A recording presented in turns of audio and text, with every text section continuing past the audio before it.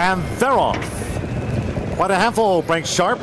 Leopold Bloom showing good speed. Here comes Sharpsburg Shuffle up and after the front as they meet up now this main track. Sharpsburg Shuffle, just the leader from quite a handful. On the outside, there's Leopold Bloom in the blue cap and even flavor, four across the track, more or less, as they run through this first furlong and a half.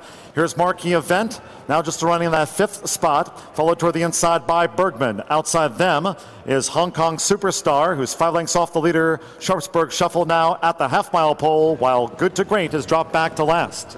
The opening quarter with a tailwind, 22 and 4 going into the far turn. James Graham and Sharpsburg Shuffle leading quite a handful by a half length. Leopold Bloom and Flavor always four wide now, three furlongs from the winning line. Bergman is pumped up. Bergman is just looking for some room down there at the fence, followed by Marquee Event. Hongkong Superstar is coming with a wide strike. Hongkong Superstar five deep past the quarter pole, and Good to Great takes the shortest way, top of the stretch. Half mile 45 and 2. Sharpsburg Shuffle quite a handful. Flavor now joins in. Bergman, Red Shadow Roll switched out and forced to steady there was Marquee Event at Bergman's heels. Far outside Hongkong Superstar. Bergman has bounded to the lead and Bergman finishes them off for Rene Douglas Triple.